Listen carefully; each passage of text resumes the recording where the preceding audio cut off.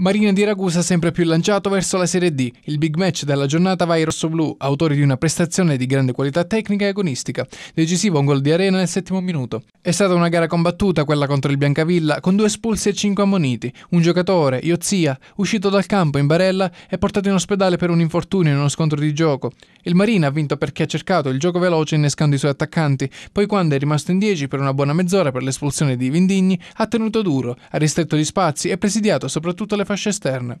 Nulla da fare per gli etnei che quando sono riusciti a trovare il varco giusto si sono imbattuti in un Di Carlo attento e pronto alla ribattuta. Ora il Marina di Ragusa è ad un passo dal traguardo. Quattro punti di vantaggio a tre giornate dal termine sono un patrimonio importante da gestire. Perde fuori casa l'altra Iblea in eccellenza. Il Santa Croce non riesce a tornare alla vittoria uscendo ancora sconfitto a Rosolini per 2-1.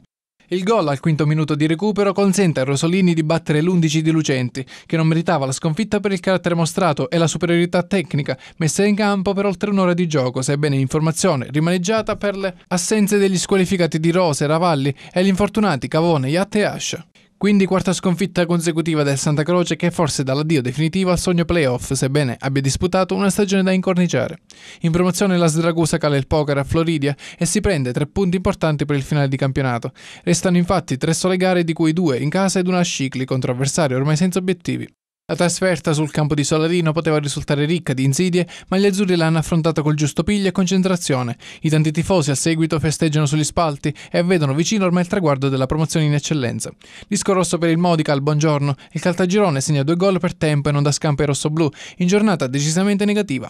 Partita cominciata male con due gol al passivo nei primi 20 minuti e proseguita peggio nel secondo tempo. Pozzallo vince nettamente sul Megara per 4-0, mentre è pari al barone tra Frigentino e Scicli. Le due squadre si fanno bastare un pari che fa bene alla classifica e mette entrambe in salvo.